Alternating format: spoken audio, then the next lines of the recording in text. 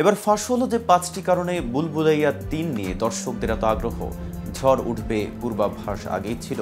তবে একই দিনে রোহিত শেঠির সিংহাম অ্যাগেইন ও মুক্তি পাওয়ার শঙ্কাও ছিল। কিন্তু পয়লা নভেম্বর দেওয়ালি উপলক্ষে মুক্তির পর থেকে ঠিকই আলোচনায় আনিস বাজমির বুলবুলাইয়া তিন।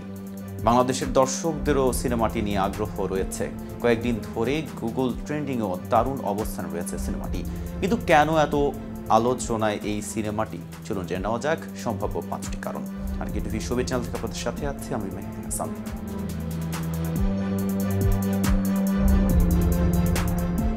Number one sequel হিসেবে গুরুত্ব। দুহাজার সাত সালে মুক্তির পর বুলবুলাইয়া ব্যাপকভাবে আলোচিত হয়।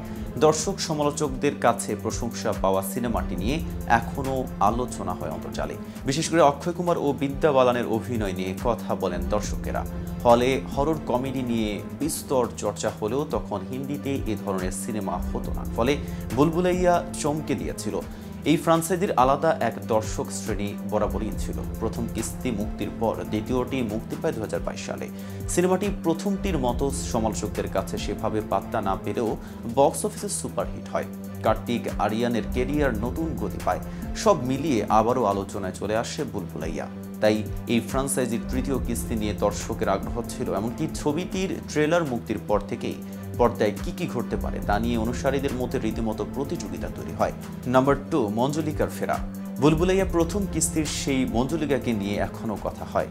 অবধারিতভাবে চর্চা হয় এই চরিত্রে অভিনয় করা বিদ্যা বালানকে নিয়েও।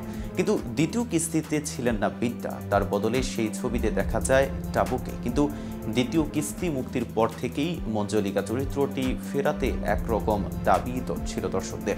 ফলে বুলবুলাইয়া তিন ছবিতে ফিরেছে বিদ্যা। ট্রেলারের তার কণ্ঠে বাংলা সংলাপ শুনেই শুরু হয় আলোচনা। ফলে পর্দায় মঞ্জলিকার ফেরা মিস করতে চাননি দর্শকেরা। নাম্বার থ্রি মাধুরী বিদ্যা টকর বুলবুলাইয়া তিন ছবির অন্যতম ইউএসপি বিদ্যা বালান আর মাধুরী দীক্ষিত তারা ঠিক কোন চরিত্রে অভিনয় করছেন? ছবি মুক্তির আগে এ নিয়ে অনেক কথাই শোনা যায়। কেউ কেউ বলেন এই ছবিতে আসলে দুই মঞ্জলিকা।